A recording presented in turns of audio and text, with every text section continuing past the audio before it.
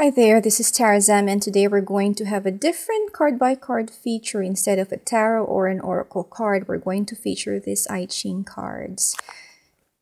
Comes in this box and inside the box are what we need to use in determining the meaning of the hexagrams in Feng Shui application.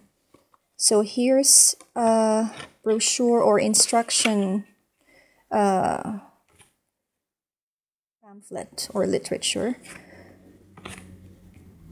This can be moved and you can find the numbers there with the combinations and the hexagram. And this is also movable.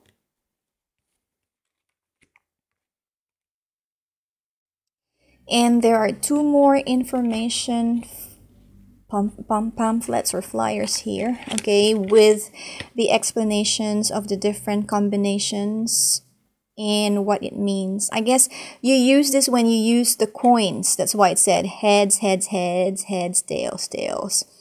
So you somehow need to use a coin and flip the coins and with these combinations it will tell you which line it is. And each of the line represents the line in the hexagram as you can see. A broken line or a solid line.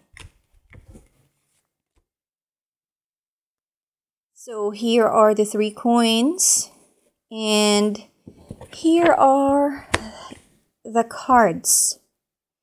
So again, you can see the combinations here. I mean the combinations of the he hexagrams. And each of the card, when you get a combination hexagram, explains what it means, the image, commentary, and it has a meaning to each of the lines. So six the sixth line up there is solid. What does it mean?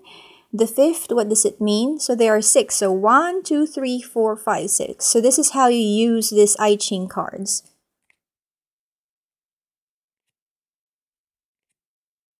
And there are 64 cards altogether. Well, because there are 64 apparently apparently there are 64 combinations for the hexagram.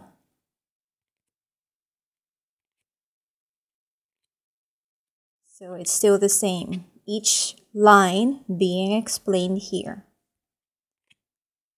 I just wanted to show you what the I Ching cards are so that in the event that you're quite curious then, you have an idea before you even contemplate on buying it. So I won't go through each of the card anymore that's all for now. Um, please don't forget to like, share, and subscribe. And until the next time, many blessings to you all. This is Tarot Zamm.